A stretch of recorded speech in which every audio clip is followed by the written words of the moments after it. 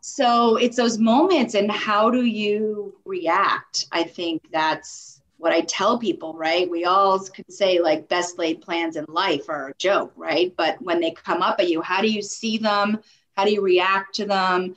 How are you prepared for it? And at the end of the day, like, how do you advocate for yourself? That, that's a big, big part of it. And if anyone thinks that hard work alone is all you need, you're wrong. Welcome to the Game of Her Own podcast, a podcast about women who work in sports. I'm your host, Jahaan Blake. After 15 years of working for three major league teams, including the Boston Red Sox, Los Angeles Dodgers, and the Chicago Cubs, I discovered the one thing I loved the most was helping women in sports shatter glass ceilings and take their seat at the table. I loved it so much that I made a business out of it. I have the honor of coaching high performing women in the sports and entertainment industry and supporting them as they go after exactly what they want in their career. So, if you are feeling tired of waiting on the sidelines, done being overlooked for promotions, and you're ready to pull ahead of the pack and take your career to the next level, girl, I'm here for it. I also created the Game of Her Own podcast to support you as well. We are here to share the stories of incredible women who work in sports and entertainment. These leaders and trailblazers will inspire you with their success and the lessons they've learned along the way to the top. Ladies, there is nothing like women empowering women. I am so honored you're here. My next guest built a sports and entertainment division at an agency where she now serves as the president. It is no surprise why Mary Scott, president of United Entertainment Group, is where she is today.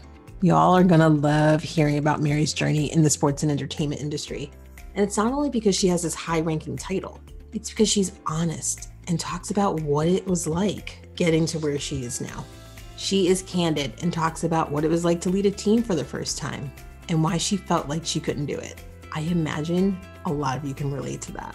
She talks about why she cried when she was given a career coach. And as a career coach, you know I loved hearing this story. She also talks about early in her career and how getting a job offer from the NFL changed her life. All right, friends, I can't wait for you to hear about Mary's journey. You ready? Let's do this. Mary Scott, welcome to the Game of Her Own podcast. I am so thrilled that you're here. Thank you so much for having me. The feeling is mutual. So take us back in time before we talk about your incredible career and tell us when you first fell in love with sports. Oh, that's a great question. Well, I'm going to go way back in time because my first love of sports was actually participating in sports.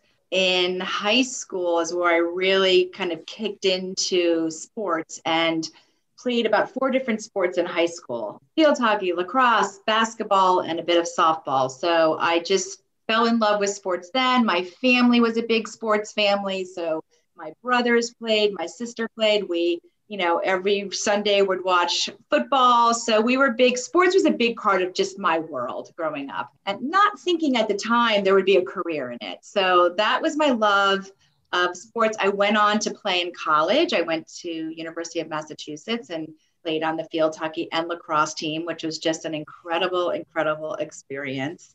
And that just furthered my love of sport and everything that I got out of it. And it was really in college where sort of the light went off. Wait, hold on a second. There's actual career in sports as well. Um, and so that's sort of began my journey. Wow. All right. So then you left, you know, you're done with college. You had that realization, okay, I can actually work. I can keep this up. For like me, it was, okay, I, I can't, people are sick of hearing me say it, but I'm gonna say it again. I'm not Mia Hamm. I cannot keep playing soccer for the rest of my life. I can't make a career out of it. So what's the next best thing? Working in sports. Like, didn't think about it growing up, didn't think about it until after, towards the end of college. So, what was your first job in sports?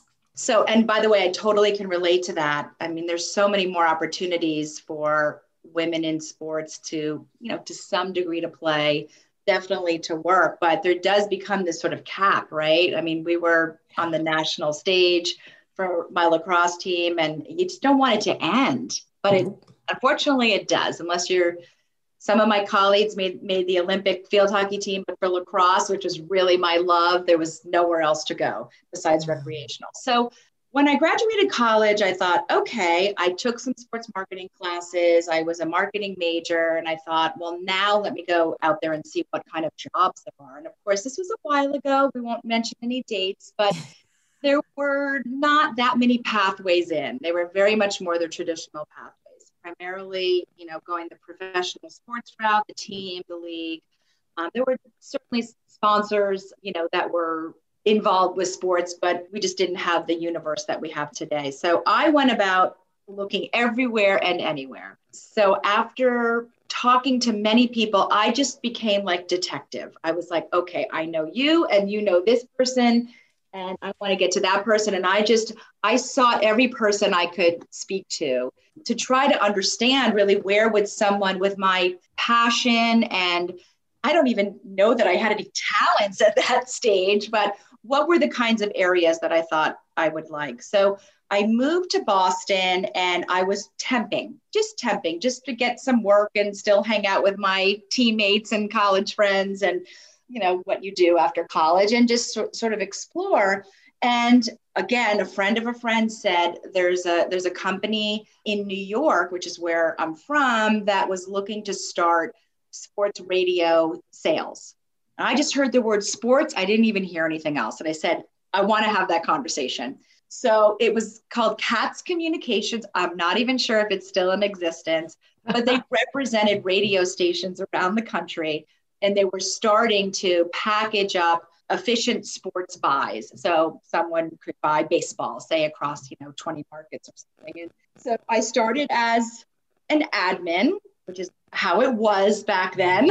Mm-hmm. and still to some degree today, it's a good place to start. And I just went and, you know, said, I want to learn everything about this and I'll do everything and anything, even though I did question sometimes with like a college degree and coming off, you know, playing in the national championship for lacrosse, like, am I really meant to just be answering the phones and taking notes and all of that? Well, yes, because you're in the door and you have to, you know, sort of explore it all.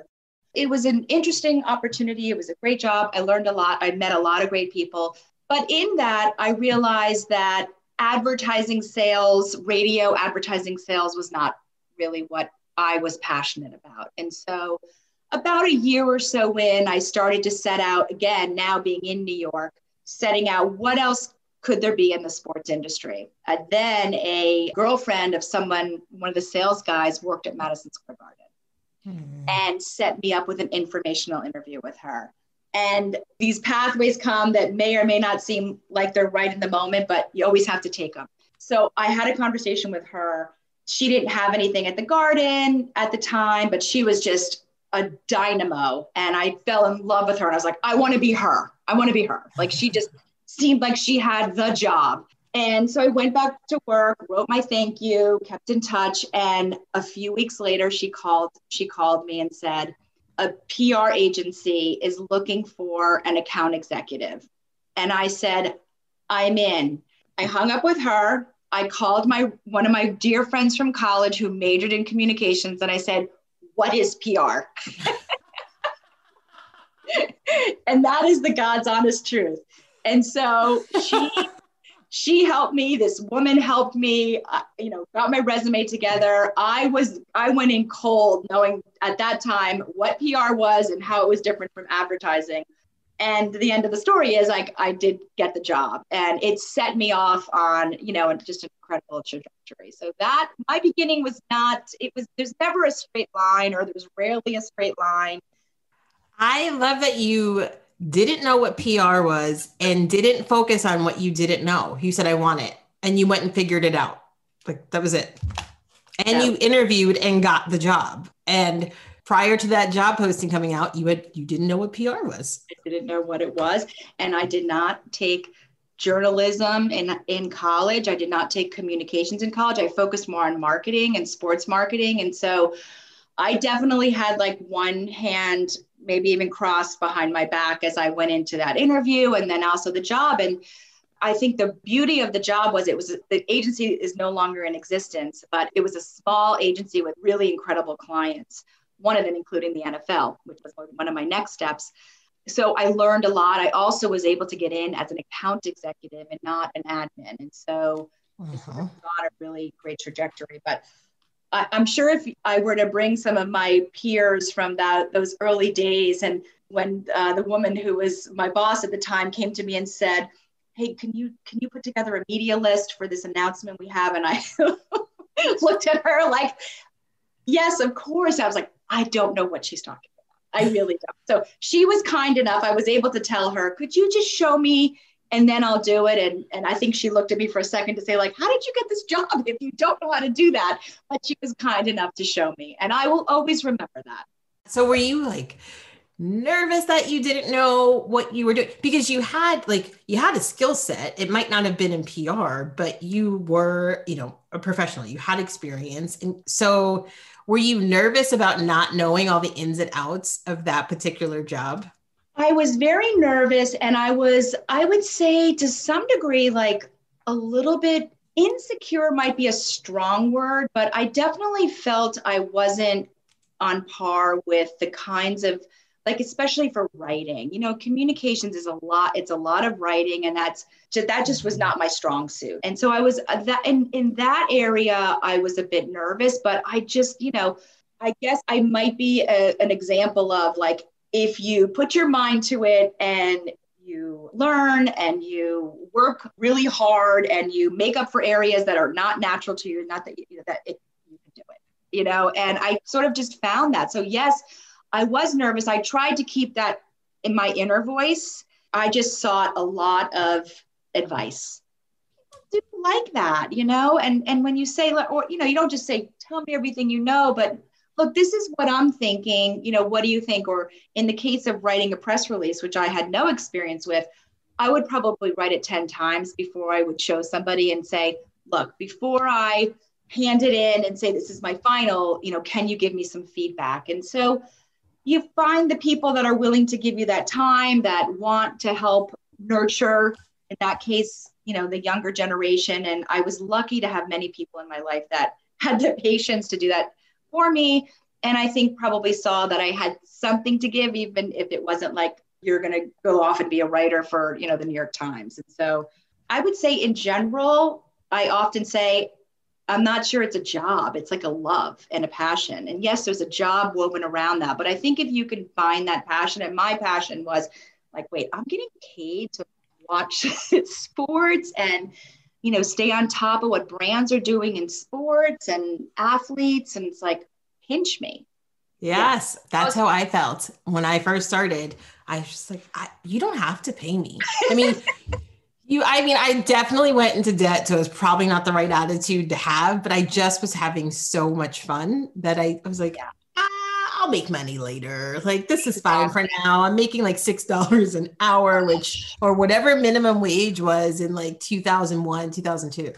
Yeah, it's fine. Like you know, exactly, pay these things off later, and I did, and I'm fine. yeah, and that, but that's true. And I think you know, I talk to a lot of people and and folks in college or out of college or looking to change a career, and I said, you know, you can't think about it just for the money. You know you, you just can't because you're not going to make the money until you're i mean i'm talking about communications. Of course there's other fields where you can but you know it's not about that right? It's about the experience about what you bring to the table and it's about being more than a fan.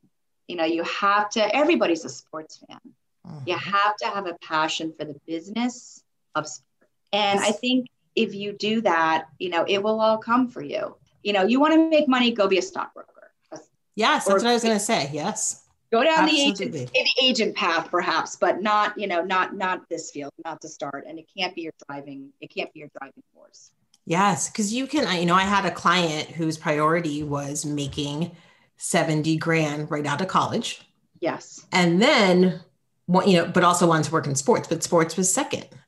And mm. so she, you know, we, we talked about it and she was starting to realize that that was not going to happen right out of college, but she got a job making that much and more wow. straight, straight out of college. But yeah. that's, but that was her priority, right? Like that was the most important thing to her, which there is absolutely nothing wrong with that.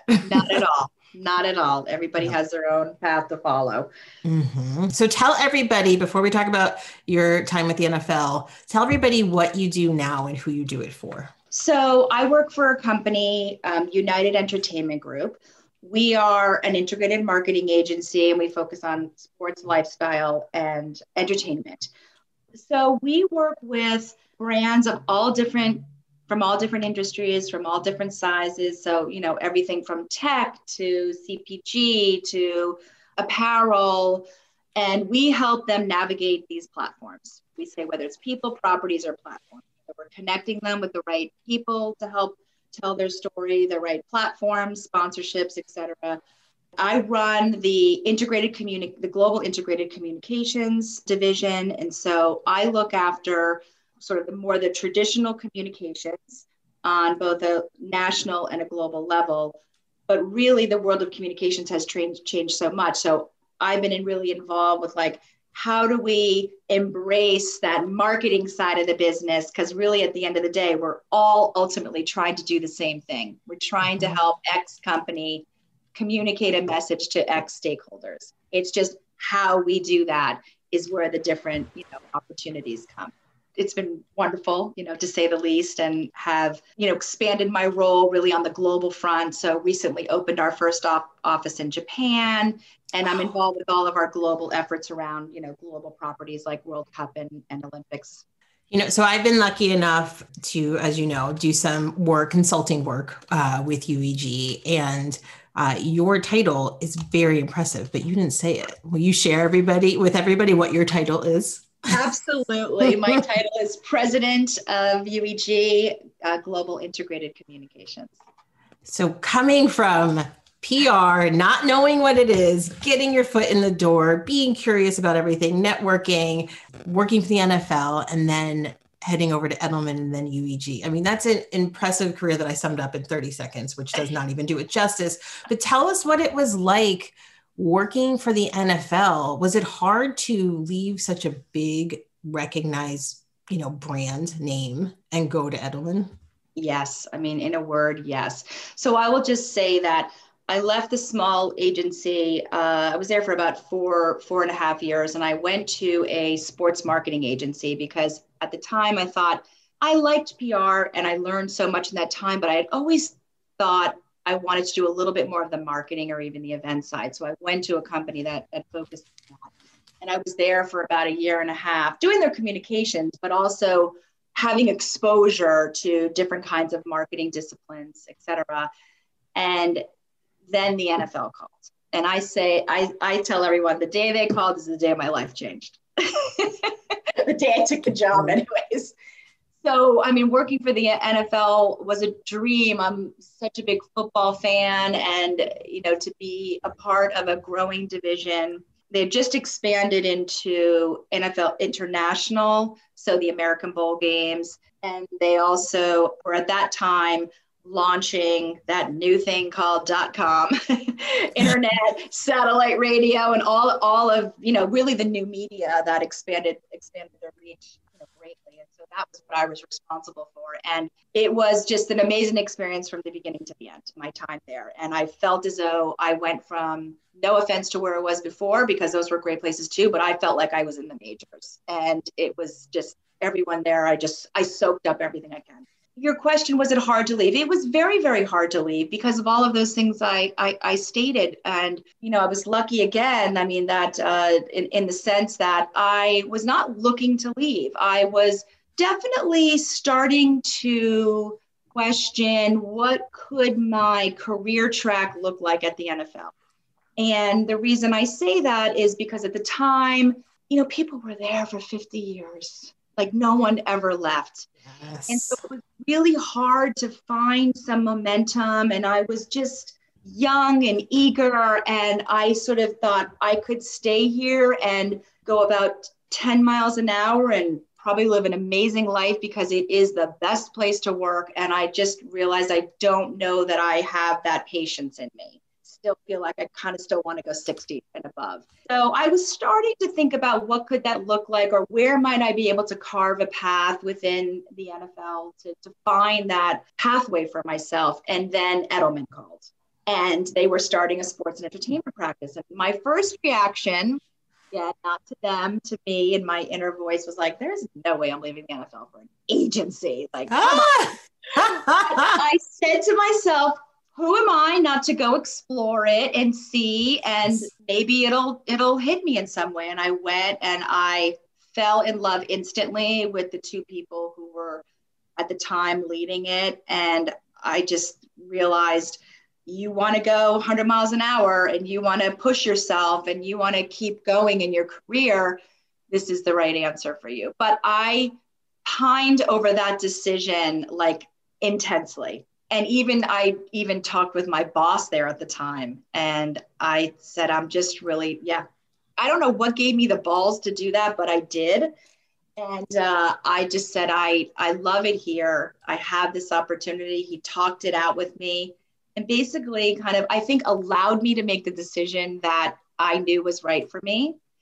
And we remain close to this day a mentor of mine from the beginning. I often call him, I still call him to this day. So it was hard, but in my heart of hearts, I knew it was the right thing. I also knew that experience that I had there for about five years, the, the connections I made, the li- lifelong peers and friends I made would never go away. Just because you leave a place doesn't mean that you know you bring all that with you. In fact, in a week, I'm going out with the NFL girls dinner. Like we still get together and it's as strong as ever. So so I didn't look back once I made that decision. And I'm really glad I did. One thing I know for sure is it can be exhausting and emotionally draining as you go after what you want in your career. Maybe you're ready for the next level, but you're not sure how to get there. Maybe you're not sure how to use your voice to grow your career or you just don't feel seen and heard in your organization. And I don't want you to have to go at it alone. It is why I'm putting together a small group of women for the Be Seen and Heard at Work group coaching experience. If you are tired of things just going okay, this group may be for you. If you're ready to use your voice to influence change, speak truth to power, build your brand, and advocate for yourself without feeling like you're bragging, this group is for you. Enrollment opens soon. So, in the meantime, I invite you to join the waiting list. Be the first to hear more about the program and also when more spots open up. You probably already know this, but it's worth saying. There is something so powerful about women empowering women. And that's exactly what you'll get in this program coaching and accountability from me, and the support and empowerment from other women in this group. If this sounds like the right fit for you, head to the show notes and join the waiting list for the Be Seen and Heard at Work group coaching program. All right, let's get back to the episode. Talk more about what that conversation looked like when you went into your boss. Like, did you have an offer on the table or? I, I had an offer. And um, I know it's a bit unorthodox, and I don't advise people to do this because actually, what I advise people to do now if I'm helping somebody, I say, I think you need to walk in. If you want to walk into the office, you need to know what you're going in there to ask. You either need to put it forward that you'd like to stay, but you'd like to see, you know, if there could be some additional compensation or additional package. You'd like to stay, but this offer is really tempting because of X, Y, and Z. Is there anything you could do here? Or I think you need to go into that office and say, you know, thank you for everything. I've made this decision. I am going to move on. I, I didn't do that back then. I don't know again what possessed me or whatever. I think I was just so struggling with saying goodbye to the NFL. And at the time, of course, it's not great to get advice from other people. But when you tell people that are not in the business that, they're like, are you crazy? Yeah. You're going to leave the NFL for who? For what? And Edelman's no like small company. I mean, it's highly reputable and was it was at that moment too. So that didn't help the psyche at all. I mm-hmm. think I just needed to work it out. And I think I needed him to say, You've done a great job, but it's okay. Yeah. And I, I think that's really what it was. I think my mind was made up, even though that was not what was coming out of my mouth. Like I would tell somebody, if I were talking to myself in that younger day, I would say, like, come on, yeah. Make up your mind and then and then go in there. But he was wonderful and you know he still to this day says you're my biggest success story. You left and you made it. And uh, i don't say that for my own praise. I just say that because his support and opinion matters to me and still does to mm, i'm going to push back a little bit and say that i love what you did. Maybe you knew it was time to go. You were you were already thinking that, right? That's why you had the interview. That's why you approached it. I mean, you you know experienced it and and went and talked to them. Part of you wanted to stay if there was that trajectory for yes. yourself. And it was almost maybe you were hoping, here I am like, like some therapist or something, but maybe you were hoping yes. that your boss was going to say, actually, I have a plan for you. I, I think that's right. And I think that was a little bit too. I mean, I don't know if that was subconscious or not, sure. but I wanted, sure. you know, I wanted there to be like, I wasn't looking for, no, stay, you're going to be a vice president someday. That's not how they work there. yeah. Right, right, right. yeah. But I was, I have to say, like in retrospective, I'm really glad that I think he had my best interest in mind. And when I, I've managed a lot of people and they've come and gone and, mm. and you know, when they come into my office to tell me whether it's I'm being pursued by this one and I but I really want to stay. Can you help me make it easier to stay? Or I'm leaving. You know, I always put their best interest in mind, even though by the way, when people leave, you know, you're left like, nah, I gotta find someone, I've gotta do the interview, I've gotta do all this. It's it's but we're all in this world, right? It, it, in this sports world. And I think that people have to feel the freedom to go and try other things. You know, Richard Edelman always says, I want you to fail because if you fail, you know that and you can and you can move on for that. Of course, he doesn't want big failures, but his his point is is like go explore, go try. I feel that in terms of jobs and people who've worked for me. And look, I've had people who've left and come back. Like you can't yeah. stop people from, you know, what they feel in their heart. And if you do, I don't think you're being a good boss or a good mentor. That's what it is. You had trust with that boss. I did. By the way, he scared me when he was my boss. At, this that moment was when and when I left was actually when I saw him in a different light. He was very, very, mm. very, very tough and very stoic and didn't say much. But those few words that he said were game changing to me. When I left and the things he said about me as I was leaving, and I was like, wow, could you have said some of that while I was there? I know that feeling. Yep. You know, yeah. Like, yeah. Okay, so what was it like going to Edelman? And as I understand it, you were building a sports and entertainment division. What was that like? It was kind of wild. I mean, it was. I guess as I'm talking to you, I'm realizing there's some patterns in my in my career trajectory because I'll never forget. I went there, and I one of the reasons I did go there. I, I, was really trying to think of what that next step is and, and, weighing, you know, do I stay or do I go? And one of the really incredible um, opportunities was to to go there and to run IBM's global sports portfolio, including the Olympics at that time. And so in my mind, I said, you know, I wouldn't go to the NBA or another league. I really just had a heart for the NFL, but I thought, what's bigger than the Super Bowl and all that? And there's not much, but to me, like the Olympics felt like a, a next rung, if you will, of global mm. sports. Um, yes. Yeah.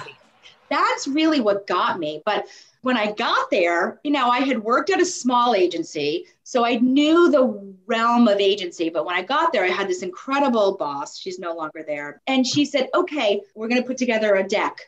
I called my friend, what's a deck? I mean, oh I did the same thing when I got to Deloitte and I had been working in sports for 15 years and I still I still was like, I'm sorry, a what? Like what are oh, you talking about? Like why did you just call it that? I was so annoyed when I figured out what it was. I was like, why, why didn't you just call it PowerPoint? Like so another moment where I was like, oh boy, I gotta dip my heels in here and really like figure out. Of course, I was a little older and I had experience, so it was a different, a different feeling. But I mean, I would just say it was like it was dynamic in a different way. The NFL was dynamic because it's the NFL. I just felt like I had entered a, a different realm when you're at the NFL. It was that special. I, I really will say that. And it was exciting because it was, you know, agency life is very different, right? You know this. It's your days are never the same. They're never the same. And I sort of relished in that. And then I just got so much great experience starting to manage more people and be more client centric and develop campaigns. You didn't really do that previously. Yeah. That was a whole new realm. And of course, now, you know, we're in a, a different world with that. And, and so it was sort of this really exciting time because we were building something. So we were small, we were pitching business. I had never pitched business before, not never. So there was a lot of that, you know, kind of adrenaline and excitement. And it was very much like playing sports. We won. It's like winning a game. And I was very comfortable in that kind of space, I think, from playing sports. I mean, I'm the biggest advocate. If I, I, I really do think if you've had any form of sports or competitive anything in your life, it sets you well into any environment, not just a sports mm-hmm. environment at work. Mm, I, yes. I, I lean back on that. I still do to this day.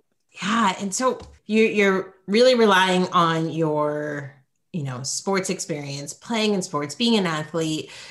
Talk to us about what it, I mean, here you are building this new division. There's a lot of pressure with that. Like, was it stressful? Were, were you anxious about it? What was your biggest fear? There's, yeah, what was your biggest fear when you were doing that? Yeah, that's a great question. I mean, my biggest fear was in some ways like, can I do it? Uh, when I first joined, there was two people that were uh, were leading the group, and they were so good. So I felt very much that I had a safety net and that we were in it together. So I didn't feel as though, like, I mean, yes, I had to do my part. So I was nervous, but with them, I felt great. And I learned so much from from the both of them. I'm still in, in great connection with them as well. One of them left about six months later, which I told you. So that was a moment of like, okay, mm-hmm. now, now you. Mm-hmm. And then the, the lead guy left about eight years later. And I won't lie, I called my same friend who actually worked at Edelman, who was the first call, what is PR? She she's at Edelman still. And I said, I called her in a panic. I don't know if I could do this. I don't know if I could now all of a sudden go from running what I was running to now being I was put in charge. Yes. And I had a you know, I had to have that moment and she was just breathe, just breathe. You could do it no one's expecting you to do everything. Just take it one step at a time and find your own way. And, you know, those moments felt like, in some ways, devastating. Devastating when she left, devastating with when he left. But, in, you know, when you look back on them, those were actually key turning points in my career. Because again, you're you're left with like, are you going to rise to the occasion, or are you going to, you know, shrink like a flower? And I remember that I got word that they were looking to replace the person who left and I called the woman at the time who was a bigwig at Edelman who didn't know me from anything because I was sort of always the number two. And I called her and I said, I want to be considered for this job. I don't want you to bring in somebody over me. I don't know where I got all this. I just said, I'm going to do it. I really didn't want to, I didn't want them to bring in somebody from the outside after I had been there for eight years and perhaps had been a little bit in the shadow of the person who was leading. And I was like, I would really like for you to give me a shot. And they agreed. And, you know, I did a bit of interim and then never forget, I got the call and they said, We're making you the head of the group.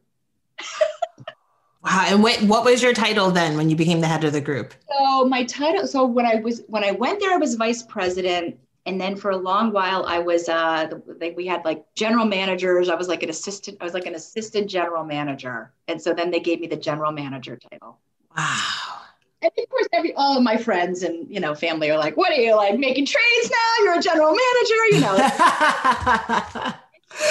that was a moment, and we all face those moments and those forks in the road or those moments that are put in front of you, right? In this case, it was sort of a devastating moment because the person who I thought would be there forever and we would be like, you know, freaking frack left abruptly so it's those moments and how do you react? I think that's what i tell people right? We all can say like best laid plans in life are a joke right? But when they come up at you how do you see them? How do you react to them? How are you prepared for it? And at the end of the day like how do you advocate for yourself? That's a big big part of it. And if anyone thinks that hard work alone is all you need you're wrong. Yes right? You have to have that courage to pick up the phone and say, I want to be considered for this position. Even yeah. if you're worried, well, they're not thinking about me. They would call me. They, they my work speaks for itself. It doesn't. You no, it doesn't. To advocate for yourself because if you don't, no one else will do it. That's exactly right. I tell everybody that, especially women. Mm-hmm. It's not mm-hmm. in our nature necessarily. Mm-hmm. You know, and then I look at all the men around and they don't give a second thought about it. Yeah. So I think that's like y- you have to just put away all any doubts, any I shouldn't, I couldn't, they would never until you do it. I love Robin Roberts' story. She said, mm. you know, mm. she went from sports. She said, I called and said, I want to do, I want to do news. You know, she she made that pathway for yourself. Look, you might get turned down. You know, you, you might not get it every time you ask, but it, you're not going to do yourself a disservice by by taking, you know, taking control. And you have to be ready for all that comes with it. And I think you you have to have proved yourself or be willing to prove yourself. And that's where I was at with it. Yeah, it, it's so true. And and you are gonna, you know, we're all gonna just like fail and it's gonna, you know, it's gonna be miserable and you're gonna hate it. But I'm telling you, it's better than the regret you feel from not going after what you want. It's something that you I, I, can't articulate what that is but there's that feeling that you have that like just kind of sits in your stomach when you know that you're not where you're supposed to be. You know that you need to make some moves but it calls for you being courageous. It calls for you just putting yourself out there and being vulnerable. It just and it's hard it's very, very hard. And look, I'm not a big risk taker. I, I know it might sound like I am. I guess maybe deep down I am. I don't know, but I don't consider myself that. But I will say that somebody gave me that advice early on: advocate for yourself. And they and another great piece of advice I received was in our world, especially in the agency world or just in the world of sports, most of our jobs now consume our lives, right? Especially now, yes. 24 seven. You know, a day can go by, a week can go by, a month, a year and this person said to me pick your head up. Like do do your work be in the moment and all that but pick your head up and try to envision or have a goal of where do you see yourself in two years in five years. That plan might never come into play because something else might happen but have that goal. Always be thinking about that goal. And you know what? That shook me right out of like my well, I'm in this today and this is coming up next month. And I thought, you know what? That's a good thinking. And I think that's a way to also, you know, we talk a lot about like own your own narrative, but own your own path, own your own, you know, destiny. And again, there might be other plans that come into play, but at least you're pursuing it and not just complacent. Yeah, ab- absolutely. And I want to ask you one question before we do rapid fire questions. Oh, no, not yet, is it? I know it, it goes by fast so now you know you're general manager and then you were made president.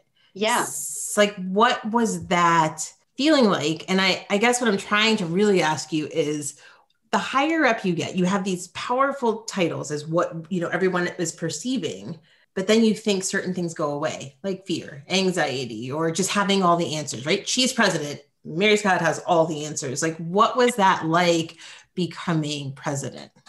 It was a moment I have to be honest with you. It was a moment, and it it happened during the the merger of the companies, mm-hmm. and you know there were a lot of discussions about what is this going to look like as a merged company, and what are the roles going to be, and how is the hierarchy going to be. And it was I, I had a, a, a wonderful woman who really helped me think through what it is I wanted. And I also had a boss who brought on a career coach for me, like a like a you know someone. And I at first cried that she thought I needed help, you know. But then so I so interesting. But then I realized when I spoke to this woman that actually I needed her to help me go from one level to another because it's not just a title change; it is a behavioral change too. Mm you know, you have those moments in your life where you're like, okay, maybe you start to manage people, maybe you start to get more responsibility and you have to delegate.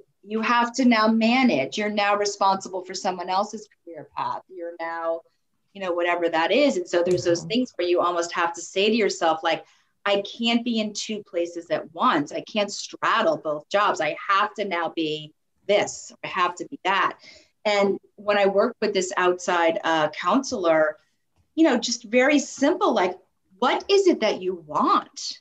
And what what do you want? And how do you articulate that? And that was ironically right before this merger happened. And so I had done that work, if you will, so that when the merger was taking place and there was all this conversation about whose title is going to be what and who's going to be responsible, I was so clear and focused on what I wanted my role to be.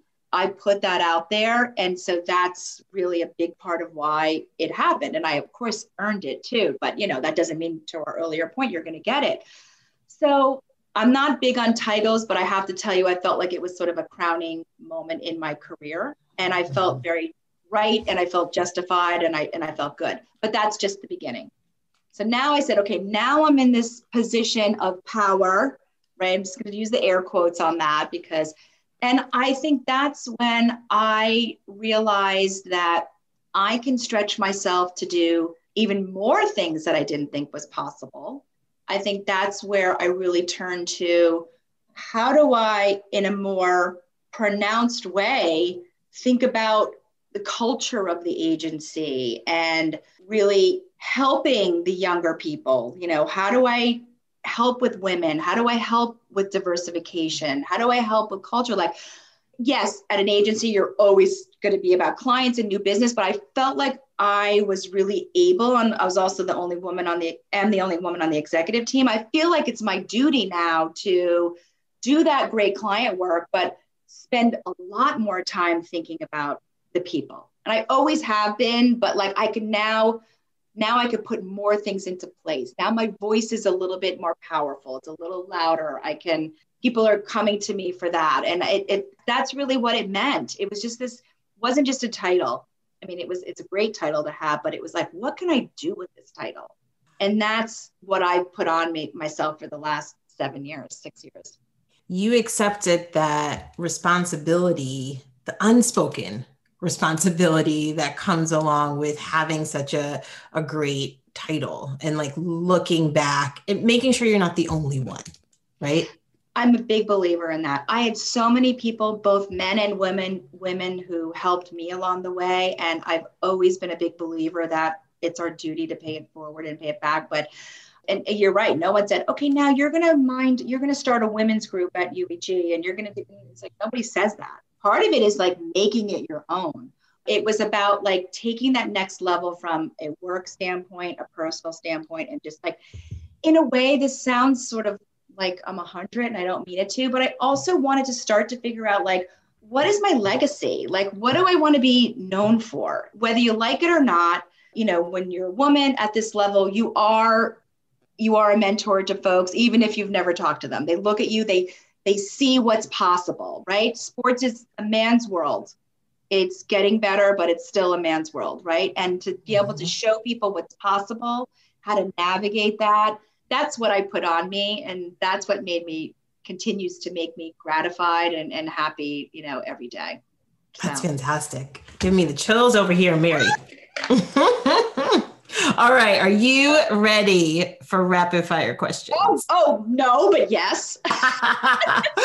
All right. 12 questions. First thing that comes to mind. You got it. what is your favorite sports moment?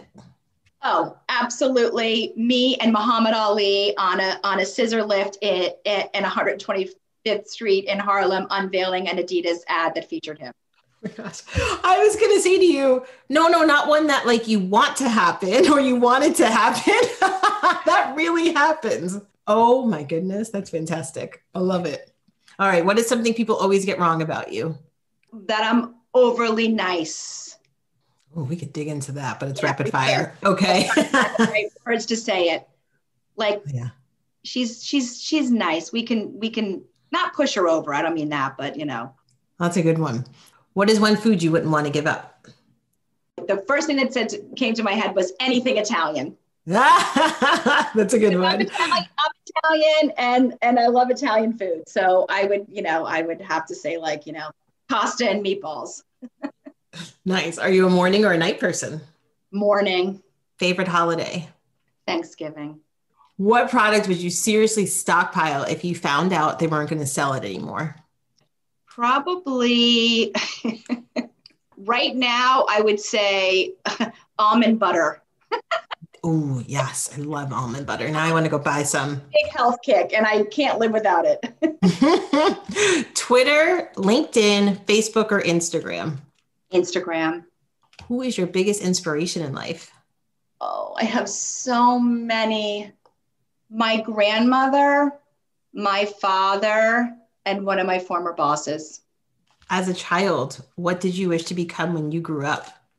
You know, as a as a child, I was really into ballet and I thought I would want to do something in that regard. All right, last one. Finish this sentence. The future of women working in sports is is incredible. Yes. It's there for the taking. We are going to take over the world. Ooh, yes. Are. All you got to do is watch the Olympics in a couple weeks to tell me women aren't coming on strong. And what I see in the industry, and so many women who are breaking that glass ceiling and doing incredible things. Look at what you're doing. I'm so impressed by yourself. You're making your own Thank way. you. I, it is like I am applauding, and I will continue to, to applaud. I am. I think the future is so bright. I really do. I, I love it. boys better watch out. Love it. I love it. Thank you so much for this time. Thank you for being a trailblazer and um, inspiration for all of us. If someone wanted to get in touch with you, how could they go about doing that? Yeah, I think the best is LinkedIn. And uh, I think LinkedIn is where I actually engage the most because it just feels it's a little bit more in a business realm. And I do like to make time for people. I just don't always have it. So LinkedIn, I, I tend to try to find some time, even if it's just responding on LinkedIn. All right. Well, thank you so much for spending some time with us. This was a blast. Oh, it was so much fun for me. Thank you for having me. Hopefully, I gave some good stuff. So, what did you think of this episode? Do you know another woman who works or is aspiring to work in sports? Would you do me a favor and share this with them? It would mean so much if together we could support and inspire other women on their journey. And let's stay connected. I love meeting and talking to new people. Follow me on Instagram at Jahaan Blake and join the free Game of Her Own community by visiting jahaanblake.com. I can't wait to meet you.